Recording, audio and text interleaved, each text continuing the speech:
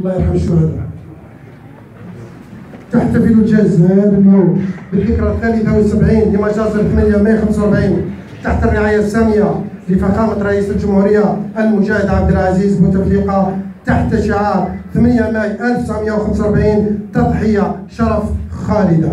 في مثل هذا اليوم من سنة 1954 1945 من القرن الماضي سار الجزائريون والجزائريات في مسيرة سلمية في عدة مدن جزائرية يعبر عن فرحتهم بانتصار الحلفاء مطالبين فرنسا بالوفاء بوعودها لكن هيهات لكن هيهات فالمستعمر الغاصب رد بكل وحشية وتنكيل بارتكاب مجازر 8 ماي 45 في كل مدن جزائرية لا سيما قالمة خراطة وسطيف راح ضحيتها أكثر من 45 ألف شهيد واعتقال 6460 شخص حكم بالإعدام على 99 منهم. ولقد ذكرت الكاتبة فرانسيس ديساني في كتابها السلام لعشر سنوات أن السفير الفرنسي السفير الأمريكي في القاهرة بانكي توك أخبر رئيس الجامعة العربية عزام باشا في تلك الفترة بأن هناك 45 ألف شهيد جزائري قتلهم المستعمر الغاصب في مظاهرة 845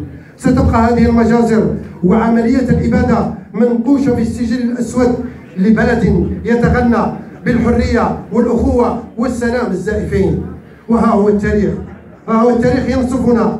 بتصريح الوزير المنتدب لقدماء المحاربين الفرنسيين عنده